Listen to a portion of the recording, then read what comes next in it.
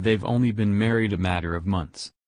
But Justin Bieber and Hailey Baldwin are already in sync when it comes to their wardrobe options, with the A-list couple donning matching pink tracksuits on Tuesday. Hailey even dyed her usually blonde dresses pink for the outing. Catwalk model Hailey was decked out in pink cotton citizen Milan joggers and Milan sweatshirt. On her feet she wore white Eero Curve runner sneakers. The niece of Alec Baldwin wore her straight pink dresses pulled back in a low ponytail and accessorized with large gold hoop earrings. Her pop star husband meanwhile clad himself in a pink hoodie for the jaunt with his new bride.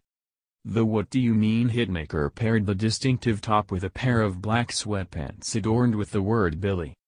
On his feet, Justin wore a pair of checkered Vans sneakers. The couple are legally married, having tied the knot in a quiet courthouse ceremony last September. However, the pair now have a date for a much bigger event for family and friends to attend, according to page 6.